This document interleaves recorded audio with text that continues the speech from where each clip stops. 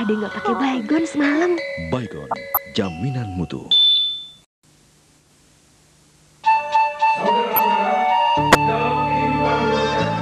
Ah. Ada yang nggak pakai Baygon semalam. Baygon, jaminan mutu.